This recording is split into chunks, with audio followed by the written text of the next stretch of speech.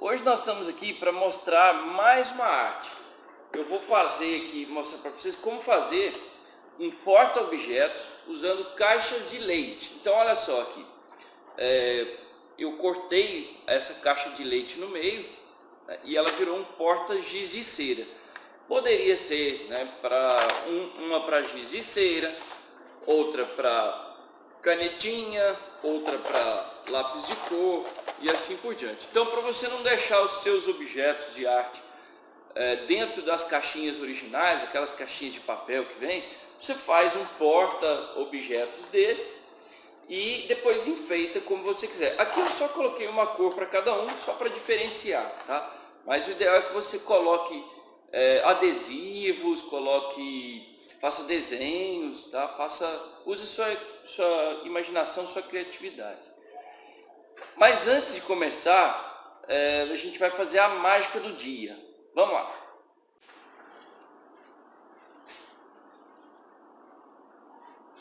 Vamos fazer a nossa mágica do dia.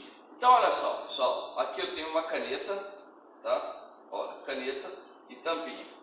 Eu vou colocar aqui tá? Vou me aproximar para vocês verem que não tem, ó, caneta tampinha, tá? E agora, olha só, eu vou pegar aqui, vou pegar aqui e vou!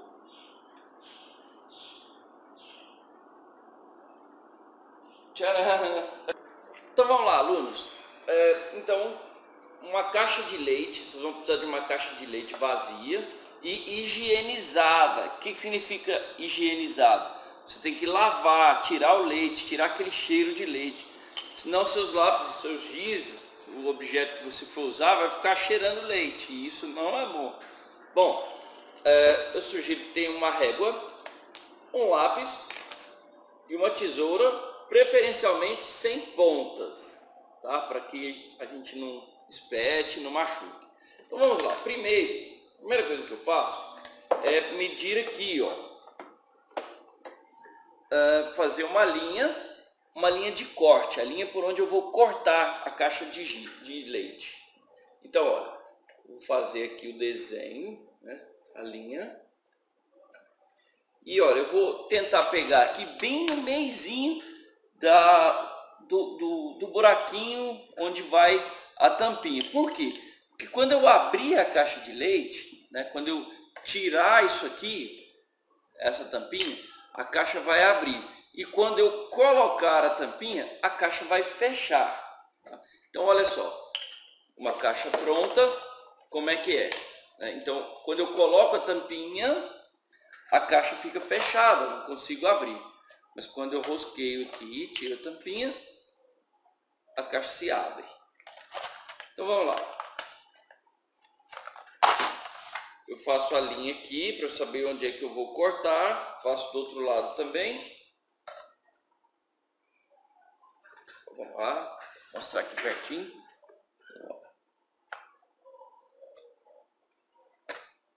Pronto. Já sei por onde eu vou cortar, né? Então agora você vai pegar aqui a tesoura, sem pontas, e vai cortar bem no meio, olha só. Cortar bem no meio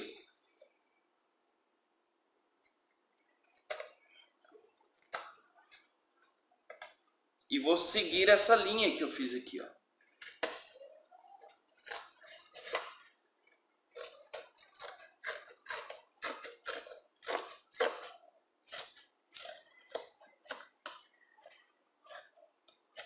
Tudo bem? Agora eu venho e corto do outro lado, ó.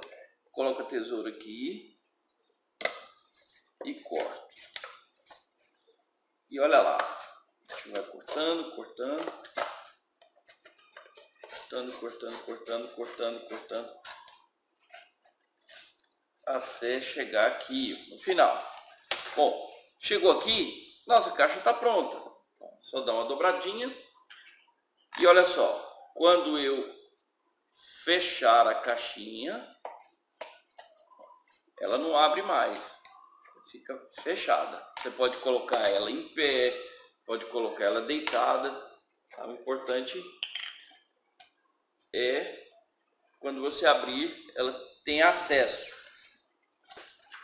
Depois disso, você pode pintar a sua caixa, pode enfeitar com, com adesivos, com o que você achar melhor. Ah, você pode, olha só, pega lá uma caixa de canetinhas,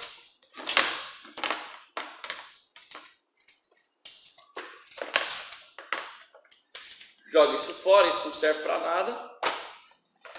E coloque suas canetinhas muito bem condicionadas, muito bem acomodadas aqui dentro.